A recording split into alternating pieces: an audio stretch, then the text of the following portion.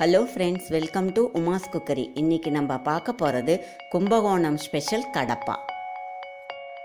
இந்த கடப்பா தோசை பூரி சப்பாத்தி இதுக்கு எல்லாத்துக்கும் சைட் டிஷ்ஷாக நல்லாயிருக்கும்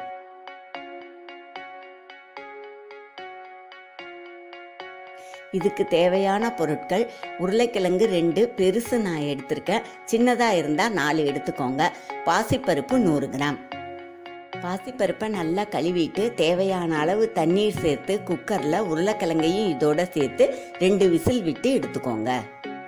மசாலா அரைக்கிறதுக்கு தேங்காய் அரை கப்பு நான் எடுத்திருக்கேன். நீங்கள் தேவைப்பட்டால் முக்கால் கப்பு கூட எடுத்துக்கலாம். பச்சை மிளகாய் நாலு ஜீரகம் ஒரு ஸ்பூன் இது மூணையும் மிக்சியில் சேர்த்து ஒரு தடவை நல்லா அடிச்சிட்டு கூட கொஞ்சமாக தண்ணி விட்டு சட்னி பதத்துக்கு அரைச்சி எடுத்துக்கோங்க.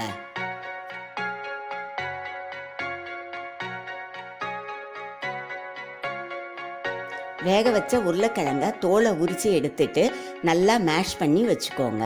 மசாலா ஃப்ரை பண்ணுறதுக்கு சின்ன வெங்காயம் நறு நறுக்கியது அரை கப் பூண்டு நறுக்கியது பத்து பல் ஒரு பச்சை மிளகா உப்பு தேவையான அளவு கொத்தமல்லி கருவேப்பிலை தேவையான அளவு பட்டை சின்ன துண்டு ரெண்டு லவங்கம் அஞ்சு சோம்பு அரை ஸ்பூன்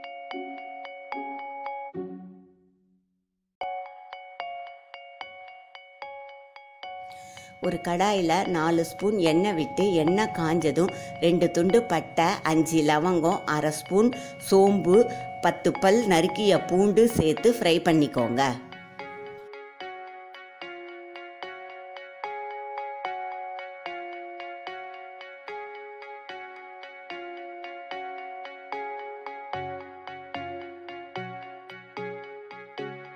பூண்டு ஓரளவு ஃப்ரை ஆனதும் ஒரு பச்சை மிளகாயை கீரி இதோட சேர்த்துட்டு நறுக்கி வச்சிருக்கிற சின்ன வெங்காயத்தை சேர்த்து ஒரு பிஞ்சு உப்பு சேர்த்து ஃப்ரை பண்ணிக்கோங்க.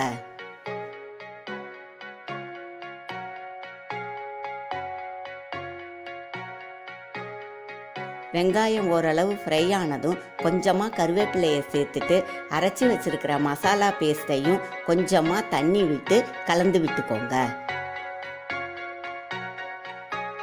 இந்த மசாலா பேஸ்ட்ல இருந்து எண்ணெய் வெளியில வர்ற அளவுக்கு வதக்கிட்டு இதோட வேக வச்சு வச்சிருக்கிற பாசிப்பருப்பையும் சேர்த்துருங்க.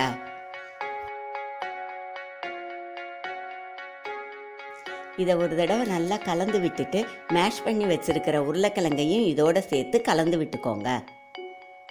இதோட தேவையான அளவு உப்பும் கொத்தமல்லி தலையும் சேர்த்து கலந்து விட்டுக்கோங்க.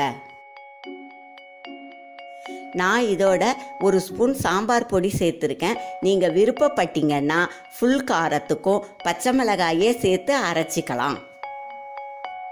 இந்த ரெசிபியை நீங்களும் வீட்டில் ட்ரை பண்ணி பாருங்கள் இந்த வீடியோ உங்களுக்கு பிடிச்சிருந்ததுன்னா உமாஸ் குக்கரிக்கு சப்ஸ்கிரைப் பண்ணுங்கள்